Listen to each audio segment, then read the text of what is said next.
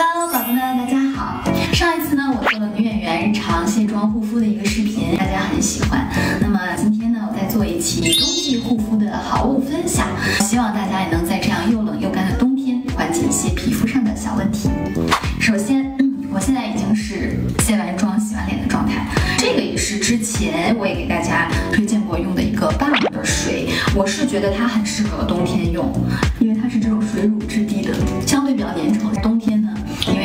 为太干了，所以很适合。然后接下来就是这个兰蔻的一个精华，它有一点点这种生姜和人参的味道，也是相对比较粘稠的这种质地。因为夏天我就会用清爽一点的精华了，着重的抹在三角区，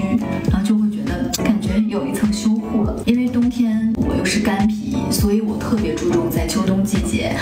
保湿修护的工作。我最近还在用的是这个 Superfood 的小绿管，我用的是这种轻薄款的，它呢是这种很细腻、很好推开的这种奶油质地，特别的丝滑，而且它里面含有有机植物的萃取，所以特别能在这样干燥的冬季的时候，给肌肤迅速的提供饱满而充足的水分，然后达到密集修护的作用。可以先放在掌心，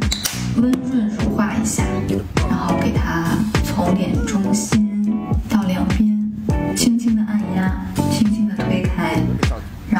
促进它的吸收。